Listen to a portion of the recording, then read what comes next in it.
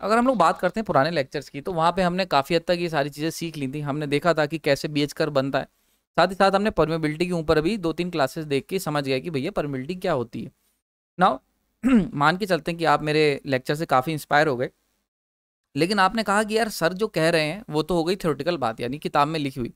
मैं चाहता हूँ कि एक खुद से ड्रॉ करके देखूँ, क्या क्या बी एच कर्व सही में ऐसा आएगा? तो आप मार्केट गए मार्केट से आपने एक नया बिल्कुल ताज़ा फेरोमैग्नेटिक मटेरियल खरीदा और आपने उसका बी एच कर बनाने की कोशिश करी, ठीक है? आप जब उसका बी एच कर बनाने की कोशिश करेंगे तो थोड़ी देर तक ये कर्व आपको ऐसा ही दिखेगा, यानी कि इनिशियल स्टेजेस में आप जैसे जैसे इंटेंसिटी बढ़ाएँगे वैसे वैसे फ्लक्स डेंसिटी बढ़ती चली जाएगी एक पर्टिकुलर पॉइंट के बाद। देन उसके बाद आप क्या करेंगे इंटेंसिटी को थोड़ा सा और बढ़ाएँगे। तो आप जब इंटेंसिटी को थोड़ा सा बढ़ाएँगे तो आप देखेंगे कि फ्लक्स डेंसिटी बहुत तेज़ी से बढ़ेगी, क्योंकि जैसा कि हमने जानते हैं कि फेरोमैग्नेटिक मटेरियल जो होते हैं, इनके अंदर डोमेन सिस्टम होता है और यहाँ पे हम एक चीज़ हमें बहुत अच्छे से पता है कि इनकी परमिबिलिटी जो होती है, वो काफ़ी ज़्यादा एडवांस होती है, यानी कि काफ़ी हाई वैल्यू होती है परमिबिलिटी की। तो इससे क्या होता है? इससे ये होता है कि ये बहुत तेज़ी से इनके अंदर जो फ्लक्स डेंसिटी डेवलप होती है, वो काफ़ी तेज़ होती है। स्मॉल इंटेंसिटी अप्लाई करने पे काफ़ी ज़्यादा डेंसिटी हम डेवलप कर सकते हैं। ये बातें हमने ऑलरेडी पुराने लेक्चर में सीख चुके हैं। तो हम क्या करेंगे, भाई हमने इंटेंसिटी बढ़ाई, यानी कि एच वन से एच टू पे गए तो हम देखेंगे फ्लक्स डेंसिटी भी हमारी बढ़ती चली जाएगी। ना अब क्या होगा, अब हम वैल्यू इंटेंसिटी की और बढ़ाएँगे, यानी कि एच टू के अलावा एच थ्री एच फोर लगातार। तो भाई, अगर हम इसको इस तरीके से इंटेंसिटी लगातार बढ़ाते जाएँ तो ये कर्व तो इन्फानाइट की तरफ़ जाने लग जाएगा धीरे धीरे और हम देखेंगे कि एक तगड़ा इन्फानाइट कर्व यानी कि थोड़ी सी इंटेंसिटी बढ़ाते जाएँगे और डेंसिटी बढ़ती चली जाएगी। ये होना चाहिए जो हमने बुक में पढ़ा है अब तक, ठीक? लेकिन एक्चुअल में क्या होता है? एक्चुअल में ये कर्व यहाँ पे जाके कुछ इस तरीके का फ्लैट हो जाता है। और इसको हम कहते हैं सेचुरेशन ठीक? तो यानी कि हमने क्या देखा कि जो कर्व हमें लगता था कि जैसे जैसे इंटेंसिटी बढ़ाते जाएँगे, वैसे वैसे डेंसिटी भी बढ़ती चली जाएगी। डेंसिटी ऑफ़ मैग्नेटिक मटेरियल भी बढ़ती चली जाएगी फ्लक्स डेंसिटी ठीक? तो लेकिन ऐसा हुआ नहीं। हुआ क्या? हुआ इसका जस्ट उल्टा, यानी कि हमने H2 तक तो सब कुछ सही था, लेकिन जैसे हम H2 को पार करते हैं, यानी कि सर्टेन क्रिटिकल वैल्यू को पार करेंगे तो हम देखेंगे कि हमारा जो कर्व है, वो फ्लैट हो जाएगा। यानी कि जैसे जैसे तुम इंटेंसिटी बढ़ाओगे एक्सटर्नल फ़ील्ड अप्लाई करोगे, पर तुम देखोगे कि कुछ हो नहीं रहा है। जो होना था, वो हो चुका है। And this phenomena is known as saturation तो आज इस लेक्चर के अंदर मेरा नाम प्रांजल है। और आज हम लोग चर्चा करेंगे saturation of B H curve के बारे में, यानी कि बी एच कर्व कैसे सेचुरेट हो जाता है। बी एच कर्व क्या होता है, ये हमने शुरुआत में देखा था। यहीं पे हम लोग एक परमिबिलिटी के नाम पे अटक गए थे, उसके लिए मैंने दो लेक्चर्स ऑलरेडी अपलोड कर चुके हैं, आप पहले उनको देख लेते हैं, जाके देख सकते हैं वहाँ पे, और बहुत कुछ सीखने को मिलेगा। तो आज हम लोग बात करेंगे कि सेचुरेशन की ये, इस, ये किस चिड़िया का नाम है, और इसको जरा बड़ा इंटरेस्टिंग तरीके से सीखेंगे। ठीक? तो चलिए शुरू करते हैं। ना अगर हम सेचुरेशन की बात करते हैं तो कॉन्सेप्ट ऑफ़ सेचुरेशन क्या कहता है? सेचुरेशन ये कहता है कि ये बेसिकली एक स्टेट है, जिसके अंदर इंटेंसिटी कितनी भी बढ़ाओ, पर फ्लक्स डेंसिटी कॉन्स्टेंट रहेगी। यानी कि ये एक ऐसी एक ऐसी स्थिति है, जिसके अंदर हम कितनी भी intensity intensity of externally applied field यानी कि बाहर से आप कितना भी मोटिवेशन दे दो, बच्चा जितना पढ़ रहा है, उतना ही पढ़ेगा। यानी कि एक उसका आईक्यू होगा, एक लेवल होगा, जैसा हमने समझा था। B equal to mu H आपको याद होगा, पुराने लेक्चर में हमने समझा था कि टीचर बच्चे का दिमाग और बच्चे के नॉलेज के बेसिस पे। तो बिल्कुल अगर उस कंपेयर उस स्थिति से कंपेयर करें तो आप कितना भी अच्छा उसे कंप्लान पिला लो कॉम्प्लेन पिला लो या बॉन्डवीटा पिला लो, कुछ भी कर लो, एक लिमिट के बाद उसकी जितने नंबर आने हैं, यानी कि उसकी जितनी मेंटल स्टेट है, वो जाके कॉन्स्टेंट हो जाएगी, वो आइंस्टीन नहीं बन जाएगा। मतलब आप अगर कितना भी उसे, अगर वो दो घंटे पढ़ रहा है तो सर्टेन नंबर आ रहे हैं। इसका मतलब ये नहीं कि अगर आप उसे 24 घंटे पढ़ा दोगे, उसके नंबर बढ़ जाएँगे। वो एक एक पर्टिकुलर पॉइंट पे जाके सेचुरेट हो जाएँगे। तो बिल्कुल ऐसा ही बी एच कर्व के साथ होता है, या फेरोमैग्नेटिक मटेरियल के साथ भी सेम काम होता है।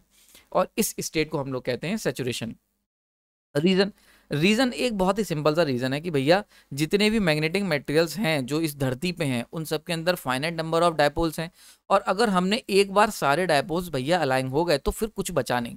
यानी कि देखो, इंटेंसिटी करती क्या है? यानी अगर जनरली मैं बात करूँ, आपको ये बड़े ध्यान से समझना चाहिए कि अगर मैं किसी भी मटेरियल को ले लूँ, मैग्नेटिक मटेरियल को, जनरली फेरो मैग्नेटिक की बात कर लेते हैं तो उसके अंदर सर्टेन नंबर ऑफ़ डायपोल्स होते हैं। ना अगर हम एच को लगाते हैं एच को लगा, जैसे हम इस पर एक्सटर्नल फ़ील्ड लगाएँगे तो ये डोमेज जो होंगे वो अलाइन होना शुरू हो जाएँगे।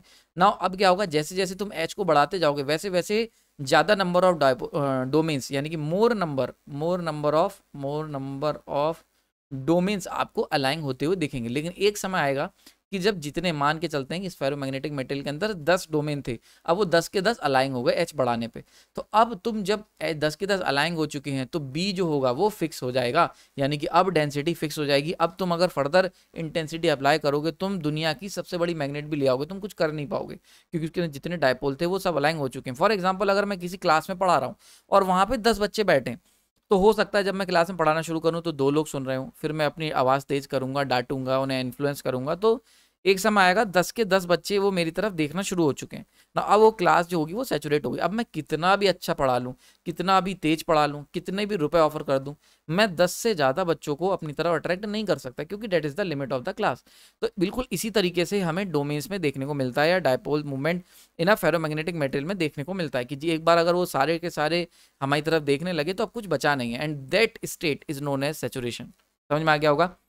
तो सेचुरेशन एक करेक्टरिस्टिक है जो मेनली फेरोमैग्नेटिक मेटेरियल में पाया जाता है। ये आपको याद रखना पड़ेगा। यानी कि अगर सेचुरेशन की जब भी हम बात करेंगे सेचुरेशन की जब भी बात करेंगे तो ये फेरोमैग्नेटिक में पाया जाता है। क्योंकि देखो, एक बड़ा इंपॉर्टेंट रीजन है। यार पैरामैग्नेटिक की अगर हम बात करते हैं पैरामैग्नेटिक तो आपको याद होगा पैरामैग्नेटिक में सेचुरेशन जैसा तो कुछ होता ही नहीं है। क्यों? क्योंकि उसके अंदर तो बहुत ही हाई इंटेंसिटी अप्लाई करोगे तो ज़रा सी मैग्नेटिक फ़ील्ड देखने को मिलती है। फ्लक्स डेंसिटी बहुत स्मॉल तो उसके अंदर तो बहुत दूर तक जा सकते हो, लेकिन तुम्हें फ्लक्स डेंसिटी बढ़ाने के लिए इंटेंसिटी को बहुत हाई इंक्रीज करना पड़ेगा। तो सेचुरेशन जैसा कॉन्सेप्ट जो है वो पैरामैग्नेटिक में एग्जिस्ट नहीं करता है। क्लियर हो गया? तो सेचुरेशन जो कॉन्सेप्ट है वो बेसिकली फेरोमैग्नेटिक मेटल के अंदर ही एग्जिस्ट करता है। तो ये ध्यान रखना। बहुत बार एग्ज़ाम से पूछा जा चुका है। ये बहुत ही बेसिक क्वेश्चन है एक नंबर का कि सेचुरेशन की जो प्रॉब्लम है या सेचुरेशन जो एक कॉन्सेप्ट है वो कहाँ एग्जिस्ट करता है? तो आप बहुत इजीली आंसर कर दोगे कि ये जो है फेरोमैग्नेटिक मेटल के अंदर एग्जिस्ट करता है। पैरा और डाया में ये ऐसा कोई भी, ये इस तरीके की कोई भी स्थिति पाई नहीं जाती है। नाउ अब समझ लेते हैं, जो मैंने आपको समझाया, उसको जरा पिक्चर से समझते हैं, क्या हो रहा होगा, क्यों ऐसा हुआ, वही क्लास की थ्योरी के हिसाब से। तो भैया देखो, ये बी एच कर्व हमने क्या करा है ज़ीरो पे रखा तो हमने देखा कि ज़ीरो स्टेट में, यानी कि जिस समय हमने कोई इंटेंसिटी अप्लाई नहीं करी है एच इक्वल टू ज़ीरो है, यानी कि बाहर से किसी भी तरीके का इन्फ्लुएंस नहीं लगाया है। तो हम देख सकते हैं कि हमारे मैग्नेटिक मटेरियल जो होगा, जो फेरो मैग्नेटिक मटेरियल है, उसके अंदर सारी डोमेज जो है, वो रेंडमली अलाएँगे ना एक चीज़ ध्यान समझ लो, यहाँ पे एक एक ये जो मैंने सर्किल बनाया दिस इज़ योर डोमेन ठीक है, इसको डोमेन की तरह ट्रीट करो, क्योंकि छोटा सा डायग्राम बनाना तो मैंने इसको बहुत ज़्यादा कॉम्प्लिकेट नहीं करा है। तो ये जो एक छोटा सा मैंने एरिया बनाया है, जैसे ये डोमेन वन हो गया, ये डोमेन टू हो गया, इस तरीके से आप इसको समझ सकते हैं, ठीक है? तो अब क्या है, सारी डोमेन जो होंगी वो रेंडम अलाइंग होंगी नेट फ्लक्स ज़ीरो तो एच इक्वल टू ज़ीरो पे फ्लक्स डेंसिटी ज़ीरो मिल रही देख सकते हो यहाँ पे कि भैया एच ज़ीरो है तो बी बी ज़ीरो है, हम यहाँ पे अगर खड़े हैं तो यहाँ पे ये पॉइंट यहाँ एग्जिस्ट कर रहा है। नाउ नेक्स्ट केस में थोड़ा सा एच बढ़ा देते हैं। थोड़ा सा अगर एच बढ़ाओगे तो हमें क्या होगा? एच वन करोगे तो बी वन डेंसिटी देखने को मिलेगी। यानी कि जरा सा एच बढ़ाया, यहाँ पे देख सकते हो।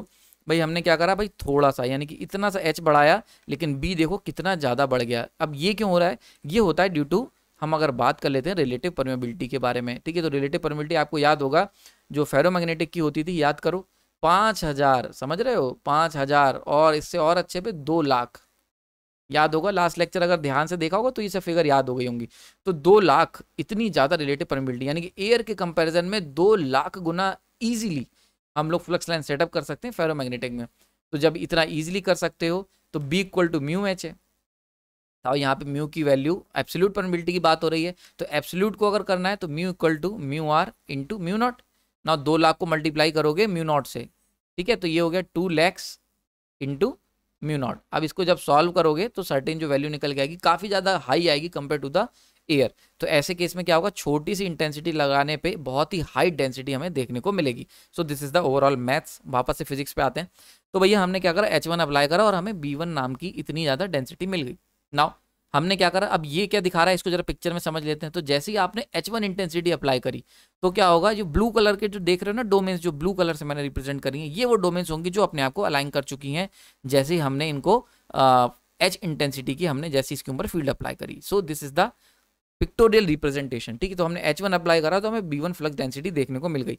ना ये जो बी वन डेंसिटी है, वो बिकॉज़ ऑफ़ दीज डोमेन्स ठीक है? ये वो डोमेन्स हो गई, जो एच वन अप्लाई करने पे हमारी क्या हुई? अलाइंग हो गई हैं। ए एल आई कर लो यार। जी थोड़ा सा इंग्लिश का ध्यान रखना। तो अलाइंग हो गई हैं। क्लियर हो गए यहाँ पे यानी कि ये वो डोमेन्स हैं जो अलाइंग हो गई हैं या ओरिएंट हो गई हैं in the direction of applied intensity H H one ठीक है? समझ में आगे बात ये? ना अब क्या करेंगे? अब दूसरा, यार हम इतने में खुश नहीं है क्योंकि अभी भी अभी भी देख सकते हो इतनी ज़्यादा ये जो डोमेन्स है, ये क्या अभी भी अलाइन नहीं हुई है, ये अभी भी अपने आप को रेंडमली ओरिएंट करे हुई हैं। ठीक है? ये बात समझ में आ रही है। तो these are still randomly oriented तो अब क्या करेंगे? हम लोग इंटेंसिटी को और बढ़ाएँगे। ठीक है? हमने क्या करा? एच टू अप्लाई करा। जैसे एच टू अप्लाई करोगे तो अब क्या होगा? ये कर्व जो होगा और आगे बढ़ेगा और यहाँ पे हमें क्या होगा? बी टू डेंसिटी देखने को मिलेगी। यानी कि अब मैंने क्या करा है? पूरी तगड़ी जितनी भी डेंसिटी हम अप्लाई बना सकते थे, हमने सब बना दी with the help of H two ठीक तो अब हमने क्या करा? यानी कि ये जो डोमेन जैसे ही हमने एच टू अप्लाई करा तो अब देख सकते हो एच टू अप्लाई करने पे जितने के जितने डायपोल डोमेन्स थे डायपोल मैग्नेटिक डायपोल मूवमेंट के जो डोमेन्स थे, वो सारे के सारे डोमेन्स जो होंगे फेरो मैग्नेटिक मेटल के, वो सब के सब अलाइंग हो गए तो यानी कि अब हमने तगड़ी वाली, यानी कि अब हमने प्रिंसिपल को बुला लिया है। जैसे ही हमारे एचओडी या प्रिंसिपल जो भी हैं आपके, जैसे ही वो हमारे केविन में क्लास में आएँगे तो सारे बच्चे एक तरफ़, उनकी तरफ़ देखेंगे, यानी कि कुछ खतरनाक चीज़ होने वाली है। तो हमने क्या करा, जैसे ही हमने इंटेंसिटी अप्लाई करी, तगड़ी वाली इंटेंसिटी एकदम ताकतवर तो वहाँ पे क्या हुआ, सारे के सारे डोमेन जो थे वो एक तरफ़ देखने लग गए और ऐसे में जो हमें डेंसिटी मिल गई B equal to B two at H equal to H two पे। ना एक बड़ा इंपॉर्टेंट चीज़ यहाँ पे हुई।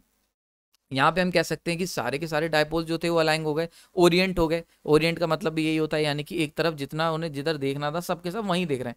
ये बिल्कुल वैसे ही केस है, जैसे अब क्लास के अंदर दस के दस स्टूडेंट तुम्हें देख रहे हैं, अब कुछ बचा नहीं है। कोई ऐसा स्टूडेंट नहीं बचा जिसको तुम इन्फ्लुएंस कर सकते हो। तो वैसे ही कोई डोमेन ऐसी नहीं बचेगी जिसको हम इन्फ्लुएंस कर सकते हैं बाई इंक्रीजिंग इंटेंसिटी तो अब ये स्टेज आ गई। ना अब हम क्या करेंगे? यार हम अब भी संतुष्ट नहीं अब हम क्या करेंगे? हम एक इंटेंसिटी का लेवल और बढ़ाएँगे। हम हम एच थ्री पे जाते हैं। जैसे ही तुम एच थ्री अप्लाई करोगे तो एच थ्री अप्लाई करने का मतलब क्या हुआ इंटेंसिटी बढ़ा रहे हो। पर अब तुम्हें क्या देखने को मिलेगा? ये कर्व सेचुरेट हो गया है। यानी कि इसका क्या मतलब हुआ?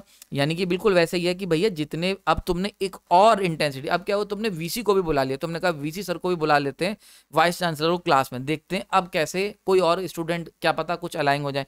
तो भैया, तुम्हें इतनी सी बात समझ में आ जानी चाहिए कि जब दस स्टूडेंट थे और दस के दस देख रहे थे तो अब अगर तुम वीसी को भी बुला लोगे तब भी वो दस ही स्टूडेंट देखेंगे। इट्स मतलब ये बहुत ही एक कॉमन सी आ, आप समझ सकते हो कॉमन सेंस वाली बात है। तो बिल्कुल वैसे ही क्या हुआ क्योंकि पहले के आल जितने भी डायपोल्स थे वो सब के सब पहले ही ओरिएंट हो रखे थे तो अब कोई बचा नहीं जिसको हम ओरिएंट कर सकते हैं। तो ऐसे केस में एच थ्री अप्लाई करने पे फ्लक्स डेंसिटी आपको बी टू ही देखने को मिलेगी। समझ में आ रही बात है तो देखो एच को हमने एच वन करा तो बी वन हुआ एच टू करा तो बी टू हुआ लेकिन बी टू पे सेचुरेट हो गया। यानी कि अगर हम बात करते हैं इस पर्टिकुलर सिचुएशन की तो दिस इज़ द सेचुरेशन यहाँ पे हम सेचुरेट हो चुके हैं, यानी कि बी टू पे हम लोग क्या हुआ है, हमारा जो मेटेरियल था फेरोमैग्नेटिक वो सेचुरेट हो गया है। ना एक बार अगर हम बी टू पे सेचुरेट हो गए तो अब कितनी भी एच बढ़ा लो बी टू ही रहेगा यहाँ पे। समझ में आ रही है? तो अब तुम एच फोर एच फाइव कितना भी बढ़ा लो, ये कर्व ऐसे ही फ्लैट रह जाएगा और इस स्टेज को हम लोग कहेंगे मैग्नेटिक सेचुरेशन तो आई होप समझ में आ गया होगा। ये बात मैंने पीछे भी समझाई थी, पर पिक्चर का सहारा नहीं लिया था। लेकिन अब पिक्चर का सहारा मिल गया है तो अब मुझे लगता है ये किनारा आपको मिल गया होगा, कैसे आपको समझ में आ गया होगा। क्लियर हो गया यहाँ पे। तो आई होप ये समझ में आ रही होगी यार विजुलाइज कर पा रहे हो ना कि किस तरीके से सेचुरेशन होता है। देखो यार बुक्स में ये टॉपिक बहुत बोरिंग होता है और हमें लगता है कि यार बहुत आसान है, हम बहुत ईजिली समझ सकते हैं। आज इस लेक्चर को देखने के बाद ना तुम्हें ऐसी ऐसी दुनिया दिखाऊँगा मैं सेचुरेशन से जो अफेक्ट हुई हैं। और क्या क्या चीज़ें आसपास तुम्हारे सराउंडिंग में तुम्हें सेचुरेशन की वजह से देखनी पड़ती हैं, झेलनी पड़ती हैं, वो सब चीज़ें तुम्हें पता चलेंगी। इस लेक्चर को बस देखते रहना। तो बेसिक अंडरस्टैंडिंग समझ में आ गया कि भैया सेचुरेशन क्या होता है, ये समझ में आ गया होगा। नाउ आगे चलते हैं। अब सेचुरेशन को जरा समझते हैं सेचुरेशन ये तो हो गया कर्व सर ठीक है, ये आपने कर्व बना के दिखा दिया, ये तो किताबों में, पाँच रुपए की किताब में इजीली अवेलेबल है। तो इसमें नया क्या है? नया देखते हैं क्या है भैया। इसको जरा समझते हैं। तो मान के चलते हैं, अगर कोई फेरोमैग्नेटिक मार्केट से हम खरीद के लाए हैं फेरोमैग्नेटिक मटेरियल अब इस फेरोमैग्नेटिक की जो औकात है, वो चार लाइन की है, यानी कि कैपेसिटी यानी कि मैक्सिमम फ्लेक्स डेंसिटी जब इसके अंदर बनेगी तो भैया चार लाइनें सस्टेन हो पाएँगी। समझ में आ रही बात ये? इसका क्या मतलब हुआ कि चार लाइनें अगर हम इन्हें इसके अंदर डेवलप कर दी तो फिर जितने भी डायपोल्स होंगे वो सबके सब अलाइन हो जाएँगे। समझ में आ रही बात ये? तो सेचुरेशन बेसिकली औकात बताता है मटेरियल की। यानी कि अगर आपसे पूछा जाए कि फेरोमैग्नेटिक मटेरियल की क्या औकात है तो आप उसका काम आप ये कहाँ से पता करोगे? ये पता करोगे आप कि कब वो सेचुरेट होगा। तो जैसे फॉर एग्ज़ाम्पल अगर हम मार्केट से एक फेरोमैग्नेटिक मटेरियल खरीद के लाएँ अब भैया हर समय कर्व तो ड्रॉ नहीं करेंगे तो कैसे पता करेंगे कि बी एच कर्व कब सेचुरेट हो रहा है? तो ये हम पता करेंगे मैग्नेटिक फ्लक्स लाइन से। तो अगर मान के चलते हैं कोई फेरोमैग्नेटिक मटेरियल है और उसकी औकात जो है वो चार लाइनों की है, यानी कि चार लाइनें अगर फ्लक्स की बना दी तो वो डायपोल जो होगा वो उसके जितने भी डायपोल्स हैं सबके सब अलाइन हो जाएँगे। अब देखते हैं कैसा होता है। तो भैया हमने इसके ऊपर वाइंडिंग कर दी इलेक्ट्रोमैग्नेटिक वाइंडिंग इलेक्ट्रोमैग्नेट बनाने की कोशिश कर रहे हैं फेरोमैग्नेटिक मटेरियल को। अब देखो, जैसे मैं हर बार आपको याद होगा, मैं इंटेंसिटी एच की बात करता हूँ, हम लोग हर बार कहते हैं intensity externally applied field generally होता क्या है ना कि एच वेच बाहर से एक्सटर्नल मैग्नेटिक फ़ील्ड हम नहीं लगाते हैं। ये एच जो आता है, वो आता है आपके करंट की मदद से। यानी कि जब हम किसी इलेक्ट्रोमैग्नेटिक को इलेक्ट्रोमैग्नेट को मैग्नेटाइज करने की कोशिश करते हैं तो वहाँ पे इंटेंसिटी नाम की चीज़ आती है। ठीक है, समझ में आ रही बात ये? कितनी समझ में आ रही होगी? तो होता क्या है number of turns into current ये जो तुम्हारा होता है ना, यही एक तरीके के इंटेंसिटी की तरह वर्क करता है। इसका फॉर्मूला अगर नहीं आता है तो कमेंट सेक्शन मेंशन करना। इसके लिए मैं आपको एक सेपरेट वीडियो में समझाऊँगा, इसके फॉर्मूले सारे वहाँ पे बताऊँगा। अभी तक इस, इतना समझने के लिए एक बात समझ लो। एक चीज़ बहुत बेसिक सी, कि जो इंटेंसिटी होती है, वो बेसिकली हम लोग जो फ़ील्ड अप्लाई करते हैं करंट अप्लाई करते हैं, कितने टन से इस पर डिपेंड करती है। ठीक है तो अब जरा देखते हैं। तो मान के चलते हैं हमने क्या करा? करंट को बढ़ाया। तो जैसे ही आप करंट को बढ़ाएँगे तो इसके अंदर एक फ्लक्स लाइन सेटअप हो जाएँगी। तो मान के चलते हैं कि जैसे ही आपने थोड़ा सा करंट दिया तो दो फ्लक्स लाइन सेटअप हो गई इसके अंदर। ठीक है भैया, बहुत अच्छा लगा, मज़ा आ गया एकदम। फिर हमने क्या करा? करंट को थोड़ा सा और बढ़ा के देखा। तो जैसे ही हमने करंट को थोड़ा सा और बढ़ाया तो अब क्या हुआ? करंट बढ़ाने का मतलब इंटेंसिटी बढ़ा रहे हैं अल्टीमेटली बात इतनी है, इसको आपको ध्यान से समझ लेना, ठीक है? तो करंट बढ़ाने का मतलब है इंटेंसिटी अप्लाई कर रहे हैं। वैसे भी ये बात बहुत ऑब्वियस ही है, हम इलेक्ट्रोमैग्नेट जब बनाएँगे तो इंटेंसिटी हम बाहर के नॉर्थ साउथ ना देखें, हम करंट की मदद से दे रहे हैं। तो हमने क्या करा करंट को थोड़ा सा और बढ़ाया। जैसे ही तुम थोड़ा सा और बढ़ाओगे तो हम देखेंगे कि चार लाइनें सेटअप हो गई। अब बड़ा इंटरेस्टिंग सा केस है। हमने क्या करा, हमने एक वाइंडिंग कर दी थी इलेक्ट्रोफेरोमैग्नेटिक मेटल मार्केट से खरीद के लाए, जिसकी औकात चार लाइनों की थी। और उसके ऊपर हमने क्या करा? इलेक्ट्रोमैग्नेटिक वाइंडिंग कर दी। अब जैसे ही वो वाइंडिंग पे हम उसको एनर्जाइज करेंगे तो फ्लक्स लाइन सेटअप होंगी। अब क्या हुआ? चार की चार लाइनें पिक्चर में आ गई। यानी कि अब ये मटेरियल की औकात कंप्लीट हो चुकी है, औकात के बाहर की चीज़ हो जाएगी। अगर इसके आगे जाते हैं तो ये हो नहीं सकता, क्योंकि हर इंसान अपनी औकात के हिसाब से चलेगा। तो फोर लाइन्स के बाद ये सेचुरेट हो गया। अब अब क्या होगा? अब अगर तुम फर्दर करंट को इंक्रीज करोगे, तुमने फर्दर करंट को इंक्रीज करा तो अब क्या होगा, उसका इफ़ेक्ट कुछ भी देखने को नहीं मिलेगा, यानी कि there will be no effect ठीक है? कोई भी इफ़ेक्ट देखने को नहीं मिलेगा। फिर तुम और करंट को बढ़ाओगे, तुम देखोगे अब भी चार लाइनें निकल रही हैं। आप और करंट को बढ़ाओगे, अब भी देखो केवल चार ही लाइनें पिक्चर से बाहर आ रही हैं। So this is the saturation in practical world यानी कि देखो क्या होता है सेचुरेशन का काम हमने कर्व बहुत सीख लेते हैं, पर एक्चुअल में सेचुरेशन क्या होता है ना, वो बहुत लोगों को नहीं पता होता। हम लोग ये मान के चलते हैं कि हाँ सेचुरेशन पूछेंगे तो वो बी कर बनाएँगे नंबर पूरे मिल जाएँगे। नंबर पूरे मिल जाएँगे, पर यार नॉलेज तो नहीं है ना कि सेचुरेशन हो कैसे रहा है। So this is the effect of saturation यानी कि प्रैक्टिकल वर्ड की अगर बात करें तो इंटेंसिटी तुम कितनी भी अप्लाई करते चले जाओगे, लेकिन क्या होगा नेट इफ़ेक्ट पूछोगे तो जितनी लाइंस एक बार बन गई, जैसे चार हो गया तो चार लाइनें एक बार बन गई तो हम कहेंगे, अब मटेरियल हो गया सेचुरेट हमारा। अब तुम कितनी भी करंट अप्लाई करते चले जाओगे नंबर ऑफ़ मैग्नेटिक लाइंस हमारी फिक्स रहेंगी, यानी कि डेंसिटी फिक्स होगी लाइन्स फिक्स हो गई पर यूनिट एरिया जैसे कि अगर एग्जांपल की बात करें, तुम ये जो फेरोमैग्नेटिक खरीद के लाए थे, इसका कुछ एरिया था ए ठीक है? और नंबर ऑफ़ लाइंस ये भी फिक्स हो गई फाइव तो यानी कि डेंसिटी फिक्स हो गई। क्लियर हो रहा है? So this is the meaning of practical meaning of saturation of a B H कर क्लियर हो गया यहाँ पे? आयु समझ में आ रही होगी। ना यहाँ पे जो इंटेंसिटी की बात कर रहे हैं, वो बेसिकली हम लोग किसके थ्रू दे रहे हैं? With the help of current current की मदद से नंबर ऑफ़ टर्न्स की मदद से हम इसको कंट्रोल कर रहे हैं। आगे चलते हैं। होप इसमें कोई डाउट नहीं होना चाहिए। किसी भी तरीके की आपको कोई दिक्कत नहीं होनी अगर है तो कमेंट सेक्शन में बता सकते हो यार। उसको मैं आंसर करूँगा। अगर बहुत बड़ा क्वेश्चन होगा तो और इंटरेस्टिंग होगा तो सेपरेट वीडियो बना के उसके ऊपर बात करेंगे। तो आई होप आपको ये बात समझ में आ गई होगी। ना यहाँ पे एक इंपॉर्टेंट रिलेशन याद रखना कि भाई जो इंटेंसिटी एच की हम बात करते हैं, वो यहाँ पे हम ले रहे हैं एन इंटू आई ले रहे हैं, ठीक है? तो ये चीज़ आपको ध्यान रखनी होगी। क्लियर हो गया यहाँ पे? तो इसीलिए मैंने यहाँ पे इंटेंसिटी अप्लाई जो करी है, वो विद क्योंकि जब भी आप intensity with the help of अगर हम किसी मैग्नेट के थ्रू कर रहे हैं तो हम बात करेंगे एच की। लेकिन अगर आप इंटेंसिटी को अप्लाई कर रहे हो, यानी कि एक्सटर्नली फ़ील्ड अप्लाई कर रहे हो with the help of current यानी कि इलेक्ट्रोमैग्नेट में, अगर हम किसी भी इलेक्ट्रोमैग्नेट की बात करते हैं तो इलेक्ट्रोमैग्नेट के अंदर जनरली हम लोग उसको मैग्नेटाइज करने के लिए क्या यूज़ करते हैं? करंट का इस्तेमाल करते हैं। तो जब भी ऐसा करोगे करंट का इस्तेमाल करोगे तो ये वाला फॉर्मूले का इस्तेमाल करा जाएगा। यानी जब भी आप करंट का इस्तेमाल करेंगे इंटेंसिटी एक्सटर्नली मैग्नेटाइज करने के लिए तो वहाँ पे इंटेंसिटी की जो वैल्यू होगी, वो गवर्न कौन करेगा? वो डिपेंड करेगी नंबर ऑफ़ टर्न्स यानी कि एक, दो, तीन इंटू कितना करंट इसके अंदर फ्लो करा रहे हो। So this is the simple concept basic concept है। ठीक के अंदर हम लोग बात करेंगे कि किस तरीके से बी एच कर्व के अप्लीकेशन क्या है। यार, जो तुमने अभी तक पढ़ा, ये तुम्हारा, ये थ्योरेटिकल पोर्शन था। नाउ मैं अगले लेक्चर के अंदर, बहुत ही इंपॉर्टेंट लेक्चर होगा, वहाँ पे हम बात करेंगे बड़ी इंपॉर्टेंट डीसी मशीन और ट्रांसफार्मर के बारे में बात करेंगे और देखेंगे कि ये जो बी एच करवाया, ये जो प्रॉपर्टी है, ये जो स्टेट है सेचुरेशन की, वो कैसे डीसी मशीन और ट्रांसफार्मरों की परफॉर्मेंस को अफेक्ट करती है, उनके साइज़ को अफेक्ट करती है और किस तरीके से आर्मेचर रिएक्शन का एक राज जानेंगे, एक ऐसा पर्सपेक्टिव जानेंगे डीसी मशीन में जो आपने कभी नहीं सोचा होगा या सोचा होगा तो जनरली बहुत रेयर लोग होंगे जिन्होंने इस चीज़ को इस तरीके से पढ़ाया होगा। तो जनरली जनरली हम लोग जो आर्मेचर रिएक्शन पढ़ते हैं ऊपर ऊपर से पढ़ते हैं तो इस लेक्चर के अंदर, यानी कि जो अपकमिंग लेक्चर होगा, वहाँ पे आपको एक नया पर्सपेक्टिव देखने को मिलेगा आर्मेचर रिएक्शन का। मेरी आपसे रिक्वेस्ट है कि अगर आपने आर्मेचर रिएक्शन डीसी मशीन का नहीं देखा है तो यहाँ पे सीरीज़ मैंने ऑलरेडी अपलोड की हुई है, चाहे वो डीसी मशीन हो या फिर सिंक्रोनस हो, दोनों का आर्मेचर रिएक्शन कवर किया हुआ है। तो आप डीसी मशीन का आर्मेचर रिएक्शन एक बार देख सकते हैं पीछे जाके प्रीवियस लेक्चर्स में और तैयार रख सकते हैं, अपने एक तरीके का प्री तैयार करके आ सकते हैं। ठीक है? और तब आपको अगला लेक्चर जो होगा वो बहुत अच्छे समझ में आएगा। तो नेक्स्ट लेक्चर में हम लोग मिलेंगे और बात करेंगे कैसे बी एच कर्व ने अफेक्ट करा ट्रांसफॉर्मर को और डीसी मशीन को। आपने अपना कीमती समय दिया, उसके लिए धन्यवाद। अगर आपको मेरे एफर्ट्स अच्छे लगते हैं तो लेक्चर को लाइक कर सकते हैं। लोगों के साथ शेयर करें ताकि जिनको ज़रूरत है वहाँ तक हम पहुँच सकें।